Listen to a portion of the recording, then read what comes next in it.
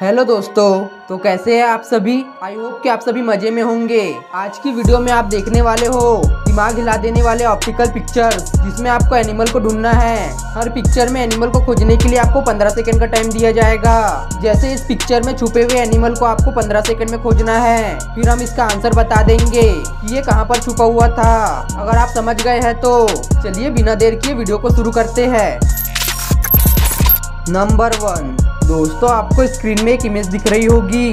अगर आप इसे ध्यान से देखोगे तो आपको एक डेडली एनिमल दिखाई देगा। आपके पास 10 सेकंड का टाइम है। चलिए शुरू करते हैं।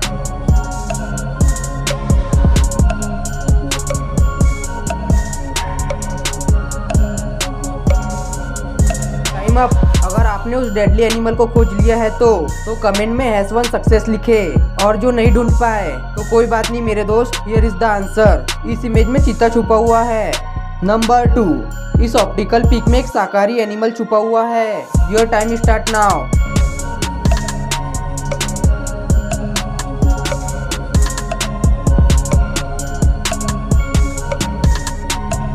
time up अगर आपने इस इमेज में छुपे हुए शाकाहारी जीव को ढूंढ लिया है तो कमेंट में हैश टू सक्सेस लिखे।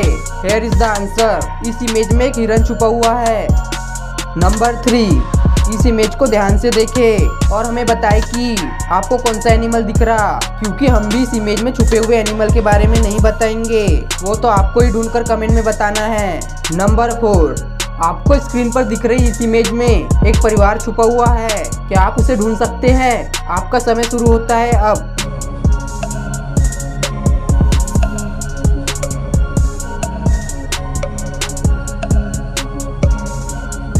टाइम अप अगर आपने इस इमेज में छुपे हुए परिवार को ढूंढ लिया है तो तो कमेंट में हैश फॉर सक्सेस लिखे।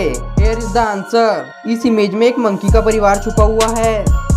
नंबर फाइव सिंपल सी दिख रही इस इमेज को ध्यान से देखें। और आपको एक खतरनाक एनिमल दिखाई देगा।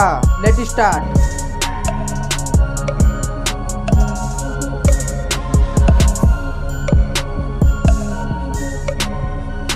टाइम अप अगर आपने उस खतरनाक एनिमल को खोज लिया है तो तो कमेंट में हैश सक्सेस लिखे। और जो नहीं ढूंढ पाए थे, वो लोग उदास ना होए। अगली बार ट्राई करिएगा। हेयर इज़ द आंसर इस इमेज में एक लायन छुपा हुआ है। नंबर सिक्स इस इमेज में छुपे हुए एनिमल को खोजना बहुत आसान है। लेकिन तब भी आपको 15 सेकंड का टाइम मिलता है। Let start